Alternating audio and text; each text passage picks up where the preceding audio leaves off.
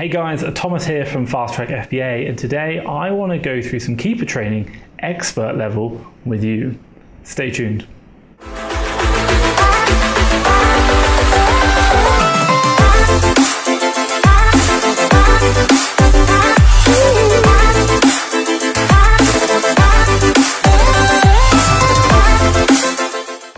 Okay guys, so today I'm going to be doing some expert Keepa training, but before I jump into that, I'd really recommend you take my basics Keepa training. I'm going to drop a link just up here. That's the foundations, the fundamentals, and I really recommend you just get that done. That means you know everything that you need to know. Number two, I'd recommend you take my advanced Keepa training, and again, I'm going to drop another link up above here. And then once you've done that, then you're ready to take this expert. Now, it's not to say that you can't just jump in on this. You might be able to, but you might not fully appreciate what I'm trying to tell you, and you might have more questions. Just watching those two previous videos are going to answer a lot of the questions for you. Now, what I'm going to show you today are a series of products, a series of Keepa graphs, whereby things are going wrong. Certain things are happening that are not normal. And what I'm trying to show you is that you should be looking at the Keepa graph all the time, and there are going to be certain things that show up, that happen, which are going to maybe you don't know about, maybe you're unaware of. And hopefully, I can either save you a lot of money when you see these problems, or B, make you a lot of money by looking at Keepa a slightly different way. So, let's get started. Right, okay, so I am here right now in a product that I've preloaded because I know this product, I've used it many times for training in the VA Academy, and that's all the VAs we train for other people. Now, this is quite simply like a lol surprise product, not much, and I've zoomed into a certain section, so this is like January the 18th through to February the 3rd, and the reason why I've zoomed into this section is quite simply what I'm interested in is that sales rank. Now, if you're looking at this sales rank right now, you're probably thinking, this product's selling quite well. You know, look how many kind of drops you can see, look at what's going on, and you're thinking this is a good product. Now, what I'm going to tell you is if you are looking at this product thinking it's selling a lot, just in the graph that I'm showing you right now, you're fooled. It's not. It's not selling as half as much as you think, and I'm going to kind of explain why. So let's go into it now. So what I've done now is just taken a snippet of this product and what you can see here, and if I kind of think about it, you're probably saying maybe there's one cell here, one cell here, one cell here, one cell here, one cell here, here, so on and so on. And you're thinking they're sales, but they're not. And let's kind of explain why. First of all, we need to go back to what is a sale on Keepa? What does it look like? In the advanced Keepa training, we talked about what happens with the product when we've got time down the bottom, and then we've got rank at the top, sales rank. And what's going on is that a product is maybe ranked 10,000, then it goes 11,000, 12,000, 13,000 as it's not selling. And then when it sells, it drops back down to maybe 10,000 again. So we're seeing that 10,000, you know, 10,000, 11,000, 12,000, 13,000, 14,000. Remember, over time, time's moving on, 15,000, 16,000, and then drops down to 10,000. We draw a line through all the dots. We see an arch and a drop an arch and a drop, an arch and a drop. What are we seeing on this graph? We're seeing an arch, but not a drop. We're seeing an arch down. We're seeing an arch up and an arch down. Now, the interesting thing is question it. Ask yourself what's going on. And if you think about it, what is sales rank? Sales rank is the order preference of the products that are in rank order. Now, if you think about what's going on, this isn't going up, drop, it's going up and then back down again. Now, I don't know exactly what's going on, but my best interpretation of this is to say something's going on within the sales rank. I call it movements in the matrix. Now, a good example of this might be the case that this product could be in toys and games, it could be like the 10,000th best selling product, and interesting enough, it could be that 300, 400 products underneath it have now moved out to another category. It could be the fact that something's going on whereby this product's you know changing or something's going on in that category, that sales rank order that is causing some of the products to come in and then some of the products to go out again. Which, you know, if you had a product that was 10,000 and all those products below it, which were 9,000 to 9,500, all of a sudden they were to move to another category. Well, the product 10,000 would now have to go down to 9,500 because 500 products below it have disappeared but it doesn't mean it's selling anymore. Just think about that. It doesn't mean it's selling anymore, but it would, the sales rank would go down. So you would see a sales rank go down. Now, if they move the sales, those products back into the category, that product get back up again. So what we're seeing here is these kind of steps and then steps down, steps up, steps down. And they're not sales, there's something going on, and I call it movements in the matrix. But if we have a look at this product, what we can see is there are certain times here, arch, drop, arch, drop, arch, drop, arch, drop. And I'll probably say here, arch, drop. So I can see sales, one, two, three, four, five, but I can see a lot of other movement which doesn't actually look like sales. So on the face of it, this graph is really good. It looks like it's selling really low, it's selling a lot of products.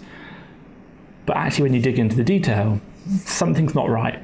And for me, I would just be very careful about buying that because I'm not seeing that clear graph, that clear sales pattern, that arch and then drop. I'm seeing something else, which would give me caution.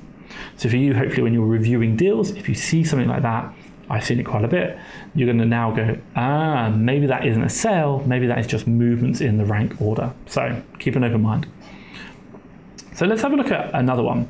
Now, in my advanced training, I went through some training around does how do you know if Amazon's sharing the buy box? And this is true, this is fantastic. It's about how do we know if Amazon's sharing the buy box? And we talked basically quite simply to say what you are looking for is when Amazon is on the listing and they have allowed another seller to sell at a price, or should we say, a sell and own the buy box, which isn't Amazon.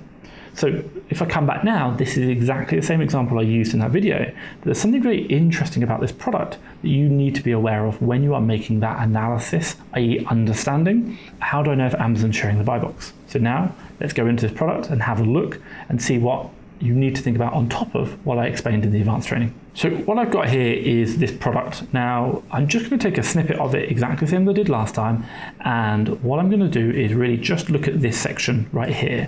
So let's just kind of block that off. What I'm interested is right here, this section. I'm not interested in any of this. So we're to remove that.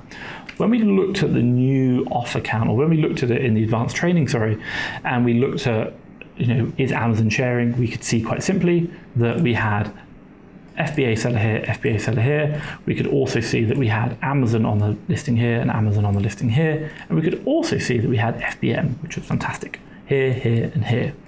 So we know, what do we know? Well, we know that from this point here, all the way through to this point here, or this, this gap here, this is all Amazon. And then we know this point here is FBA, or FBM, sorry, because they're blue. And this bit here is FB, uh, back to Amazon again. Now, what we know is the fact that Amazon is on the shaded box here, great, and we know that also as well, Amazon has given the buy box away here to other sellers. So we know that Amazon is sharing, which is great, we're happy with that. But the big point which we didn't talk about is while we know Amazon is sharing, the big question comes at what price they're sharing. So let's say, for example, I'm looking at this product today, and I'm looking at this product today, and today's price is about, let's say, £65. Now, let's say, for example, I work on the model of £3 profit, 30% ROI. Let's say, for example, today I'm going to be making £3 profit, 30% ROI on this product if I sell at today's market price. Let's just jot that in £3 profit, 30% ROI. And you know, your VA or you might really come into this product, look at it and go, £65, £3 profit, 30% ROI, cool, that meets my criteria, and I've hovered over the buy box, and I can see Amazon sharing, winner, winner, I've got a great deal. But you need to be super careful because you are right. Yes, at £65, you're going to make £3 profit, 30% ROI. And yes, Amazon is sharing the buy box, and you can see that historically. But the bit you're missing is at what price is Amazon sharing the buy box? Amazon will share the buy box with other sellers when they are competitive. And it's that competitive point that you really need to take into consideration. So when we look at this product, right now it's £65, and if we could sell it for £65, fantastic, we're going to make our margin and our ROI that we're interested in. But what we really need to ask is at what price has Amazon shared the buy box at in the past? So let's just have a quick look. We know between this bit here, Amazon sharing. So all these pink dots here, Amazon is sharing the buy box. The question you've got to ask yourself is what's the highest price they've ever shared it to. Now, you're an FBA seller, it might be higher than FBM, but here I can see pretty much Amazon sharing around the £60 mark. So, say for example, here, this is £60. Now, when I'm doing my analysis right now, I'm doing my analysis £33 profit, 30% ROI, based off a sale price of 65 and what I really need to be doing is looking at the highest price Amazon shared the buy box before in the past. And what's that highest price? And I can see here, it's £60. So now when I recalculate to do not 65 sale price, but 60 pound, because that's the price at which Amazon is sharing at, I'm no longer going to be making three pound profit, 30% ROI. I don't know what I'll be making, but it'll be less and it probably won't be a deal. So whenever you're doing your deal analysis versus Amazon, i.e., are they sharing? The question is always yes, uh, is Amazon sharing on the listing? Are they sharing to FBM and how often they're doing it, or FBA, how often they're doing it? That's great. But the big question you need to be asking yourself at what price are they sharing? And if I can sell at that price, am I competitive? Because yes, right now it's 65. I might be able to sell at 65, but I have no evidence that it's ever been sold at 65, or I have no evidence that Amazon's ever shared at 65. I only have evidence it's sold at 60. So I have to do all my calculations off 60. So for you, when you're doing analysis, what's the highest price Amazon's ever shared at, and then do your calculations off that. Because that way you're playing it safe rather than gambling. And hey, we're not into gambling. This is a business. So that's a little bit about that. Now, let's have a look at another interesting graph. So I'm just going to jump into this product. Now, uh, a good friend of mine shared me this graph. This is a product that they talked about. Now, on the face of it, you might think this product right now is a great product. There is no Amazon on the product. Look at that buy box price. You know, I can see here it's been going for what, 17 pound. You might be like, wow, this is amazing. But there's something a bit strange. There's something a bit strange, and I'm going to turn on the new FBA for a second. And normally I don't look at that, but when I've looked at the listing, and if you want me to, I'll go into the listing itself, and we'll load up this product. So what I can see here is right now it's got buy box suppressed. But if I'm going to go look at the, the sales rank, or should I say, if I'm going to look at the actual product, I can see the buy box existed at 16.99. Now, what's really interesting is the fact that this product has had the buy box at 16.99, and there are sellers at 11.85 consistently. But right now it's suppressed and they're still sellers at 11.85 but there's no buy box and I really don't understand why. So let's have a quick look at the buy box and let's click on them. So right now, home slates. Let's go back. Home slates. Let's go back. Home slates. Let's go back. Home slates. Really interestingly, it seems for some weird reason every single buy box is owned by home slates. And if home slates isn't on the listing, there is no buy box. This is a really strange product, but what does this tell us and what should you learn from this? There is no one hard and fast rule in Amazon. Every product is treated differently. For some weird reason, these things happen.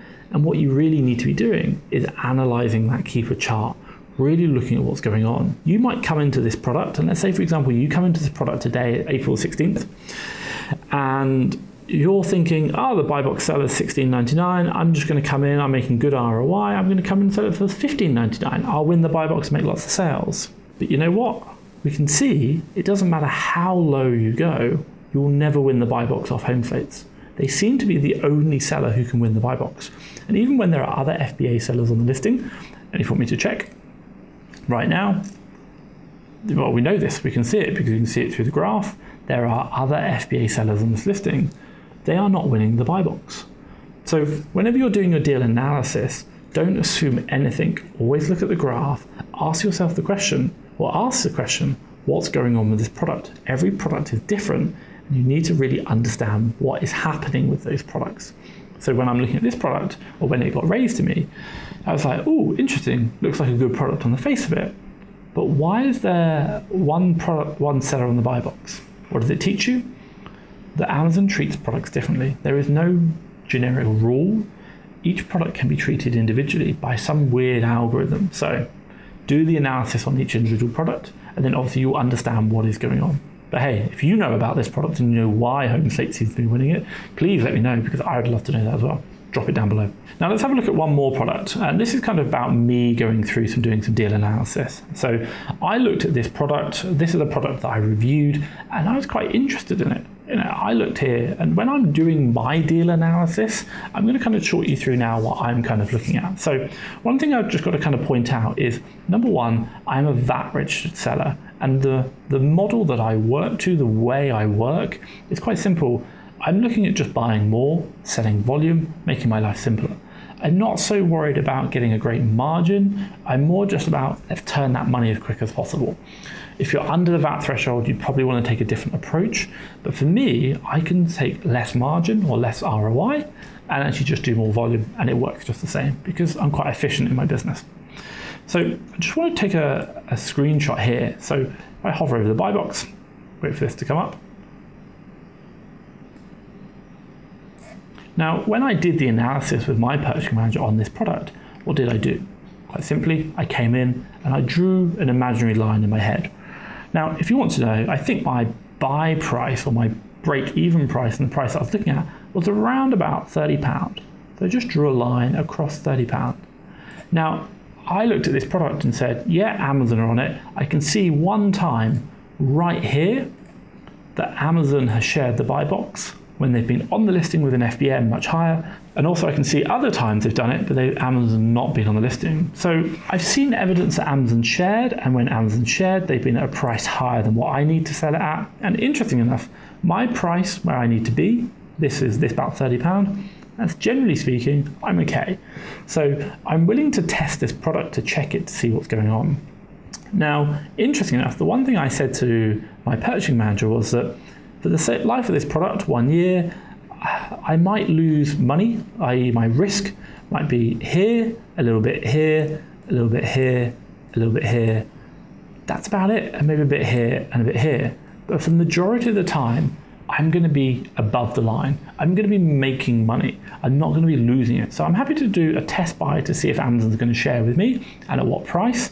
But also as well, the product looks pretty good. I'm not really going to be losing any money, you know, and I'm going to be hitting my ROI where I want to be pretty much all the time. Apart from these areas I've highlighted in blue, they're going to be slightly below my ROI. Now, the one thing which I said to my purchasing manager was that my estimation of this product, i.e., I'm going to be hitting my ROI, I'm going to be making it work over time, works for the history of the graph. And whenever I'm doing my analysis, I'm always trying to understand what's happened in the past. It's going to be a very good indicator in the future. But there's one thing about this product which I need to be really mindful of, and when you're doing deal analysis, you need to think about. When I'm doing my reviews, I'm looking back in the past, I can see that it's going to be fine. I'm not going to lose money. You know, maybe my break even's like down here, for example, much lower. And I'm then going to be making the money that I want, if not slightly lower than it, all the time. But I need to be super careful because if you look down below at the new seller count, I can see that this model, i.e., the information I'm basing on the way it works, does work for all this number of sellers.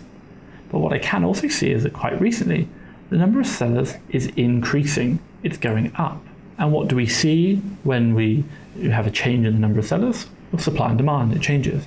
But interesting enough, the amount of supply, i.e., right now, seven sellers, has never been seen before in the history of this product. So everything I'm basing my decisions on, i.e., Amazon sharing price, what's going on, you know, uh, the price that's, happening is selling out the buy box price in the sales rank, is all based on the sellers being below four.